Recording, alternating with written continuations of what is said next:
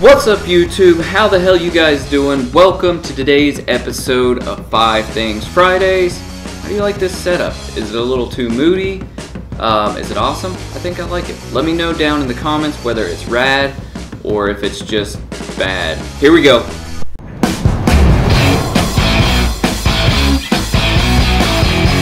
Alright, so here we are. Today's episode is all about vlogging and the five things that I think that you guys need to get as soon as you decide you're going to start vlogging, not only to level up your storytelling, but to level up your vlogs and level up your videos as well. So here we go.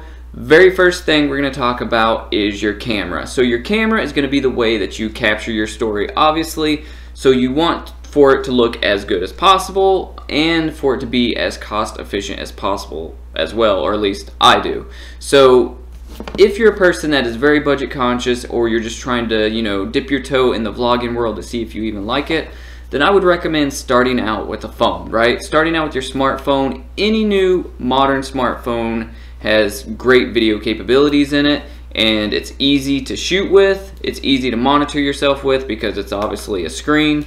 Um, and the sound coming out of them aren't that bad either. You can buy all sorts of third-party lenses and microphones to attach to your phone to make it a little bit easier. So I would highly recommend doing that if you're not totally sure that you want to invest money in vlogging.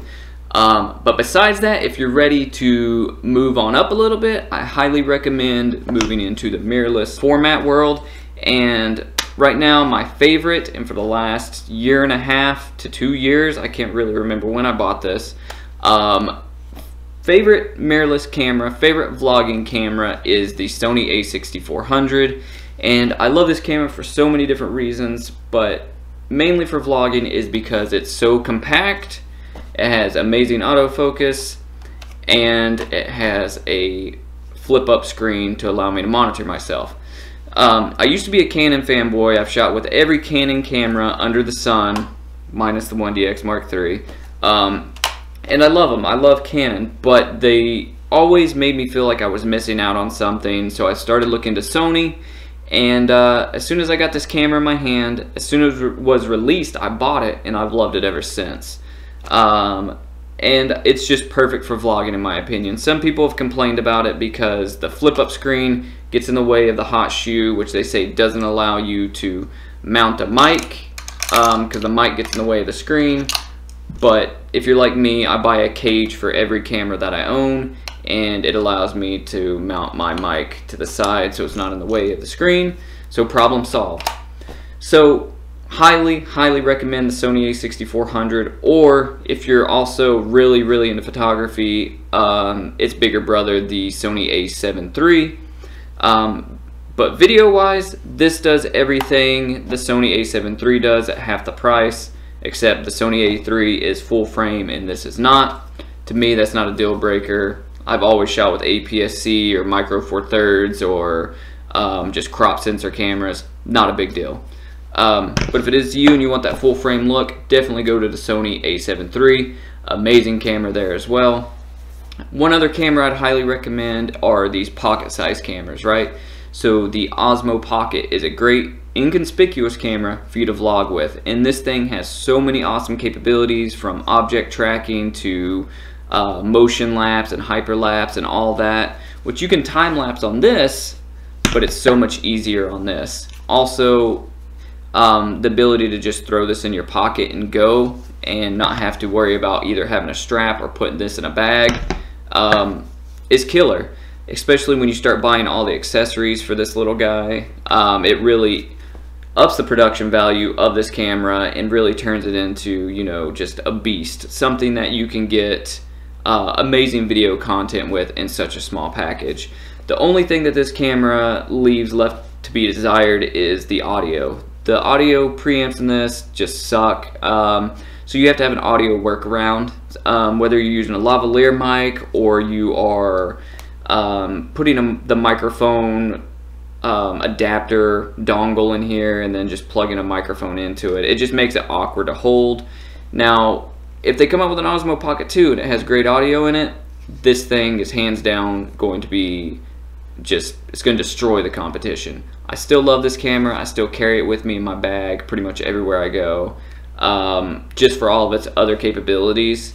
Um, amazing camera. Highly recommend this if you're getting into vlogging or even for studio work. I've used this for studio work as well as an overhead cam or even just, you know, a normal straight on shot like this and it looked fine. Camera that I absolutely love, if you guys have watched any of my previous videos, is this one I picked up recently. This is the GoPro Max 360 degree camera. Now, I believe 360 degree cameras are the vlogging cameras of the future. Now, why do I believe that? I believe that because as cameras get more and more advanced and the shooter gets lazier and lazier um, with autofocus and with all the auto functions built in, I believe people are going to get so lazy that they don't want to have to point their camera in any direction and just in post they will um, be able to direct their video that way. Um, now, is that a good thing or a bad thing? I think it's kind of cool. I think it's kind of cool to be able to capture everything. Um, in one of my vlogs, there was almost a car wreck that was happening on the other side of the camera while I was talking to the camera, and I was able to spin the camera around so the viewer could see the collision that almost happened uh, because I was shooting in 360 degrees. Now, 360 degrees may not be your thing, but how about an indestructible camera? GoPros are indestructible, they're weather sealed, they're small, they're inconspicuous, um, and they just give you that wide field of view um, that you won't get unless you know you have a camera like this and then you have to spend money on a good wide angle lens. Um, really hard to get sometimes. This already has it. This will focus pretty much all the time for you. Same with this guy. Um, you don't have to worry about focusing on them.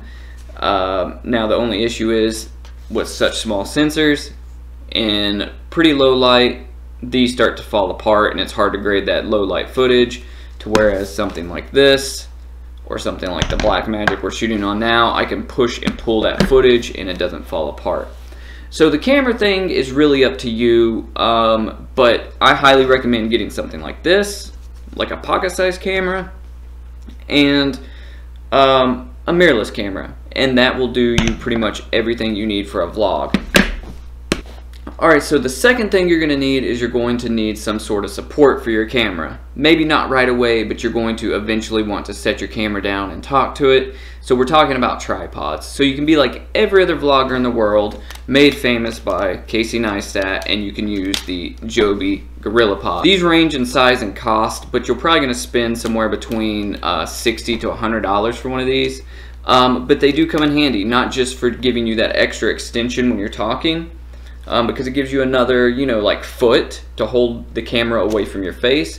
But it also allows you to put your camera in all those weird places like um, just setting it on a table or allowing you to just mount it somewhere like this or you can use the legs and wrap it around a tree or something like that. So say that you're in a field and you're vlogging and you want to set your camera down and talk to it but all you've bought is this Joby GorillaPod so you're going to have to set this on the ground, and since it's so short, you're going to have to pretty much sit on the ground or lay on the ground or back way far away from the camera to talk to your camera, especially if your hands are full and you're trying to show something.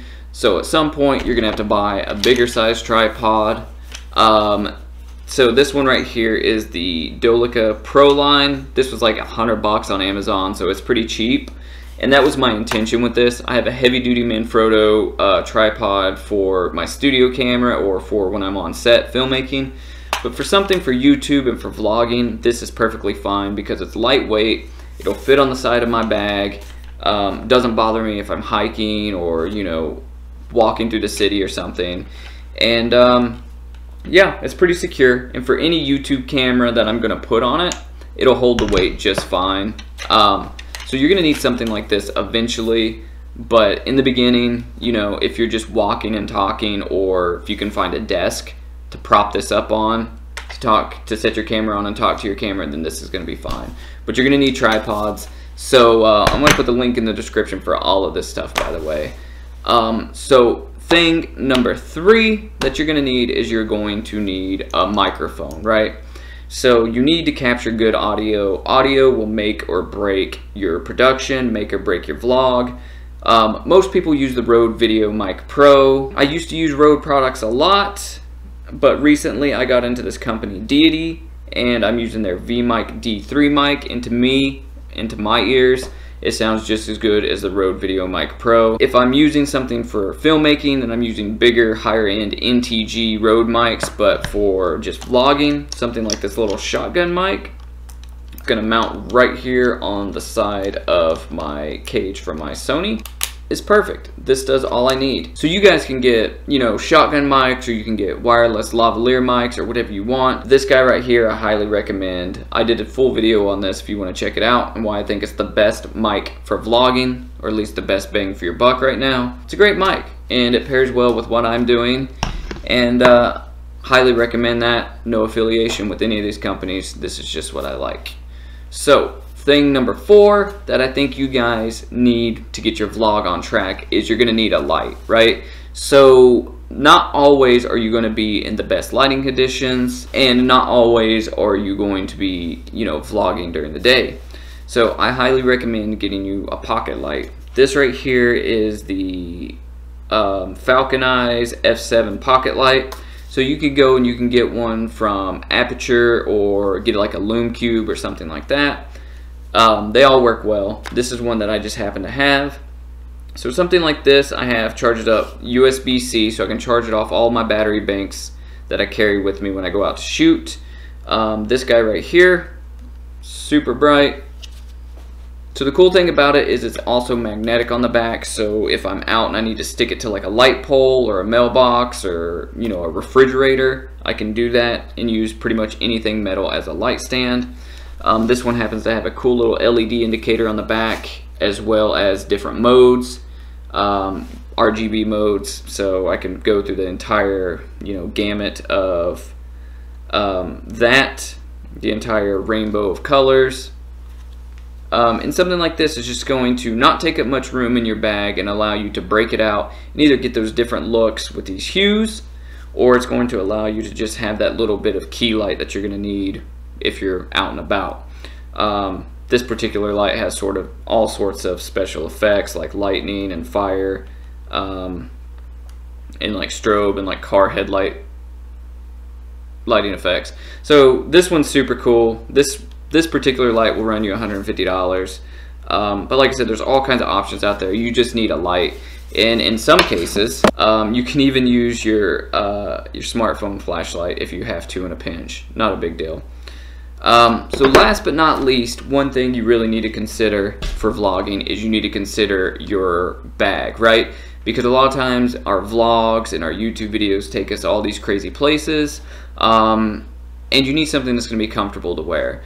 So I highly recommend, highly recommend an oversized fanny pack. And by oversized, I mean just a big one. It's not called an oversized fanny pack. That's just what I'm calling it. Um, I can fit pretty much um, all my vlogging stuff in here. If uh, if I'm just you know going out for a short short day trip or something like that, and I don't want to take a lot of stuff like a bigger camera or you know a whole bunch of different lenses, then I'll just pack light. I'll put all my vlogging stuff in this guy here. I'm going to show you guys as I'm talking. Um, I can put all my vlogging stuff in this guy here and um, be just fine. And it's not too much weight for me to carry around. Um, not too cumbersome to hold, and it's not taking up any room in the car, especially if it's like a day trip or if you have other filmmakers with you, right? Um, Alright, so I have the A6400, the GoPro, uh, GoPro mounts in the front, the mic, the pocket lights in this little back zipper back here. And uh, I could fold up this and put this in there if I really wanted to. You can see the size there. But um, yeah, so something like this is really super simple. You don't need a big expensive bag. This bag was $30, so you don't need something huge. Um, something like that will get you, especially if you just want, you know, like a slim kit, um, which sometimes minimal, minimalism is great. And then when I have it, I'll just sling it over my shoulder right? And I'm good to go. Um, makes it nice and easy to carry. Now, when I'm taking longer trips or longer hikes, I need to take stuff like this tripod here because I think I'll need it. Or if I want to take, you know, like uh, all that other stuff, and I want to take the drone, and I want to take maybe the Blackmagic camera and a couple additional lenses, then I'll have a bigger bag like this, right? Just a regular camera bag. I like Lowepro bags. Um, this is the Lowepro, I think this is the BP250 or something like that. Pretty much any camera bag these days is pretty much standard. Just get uh, one that's a little bit bigger and get one I would recommend that has a rain cover built in the bottom here because especially if you're somebody that's trying to travel vlog or something like that, then, uh, you know, your vlogs are going to take you to probably weird locations, and it's going to rain. It always does. You know, you want the rain cover to help not ruin your gear, cover your bag. Um, so yeah, so I recommend this one. This one has all kinds of room. Um, I'll do another what's in my bag video and show you guys more of this in the future. But, you know, there's a bunch of pockets in this. It's a camera bag. Or you can get your, you know, um, get you something that's a little more classy. Like this sling bag here. And it has a camera cube, a little camera insert inside it.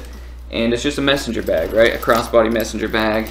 Um, when I film weddings, or when I used to film a lot of weddings, I would take something like this because it looks a little bit more dressier than like the Lowepro bag or something like that.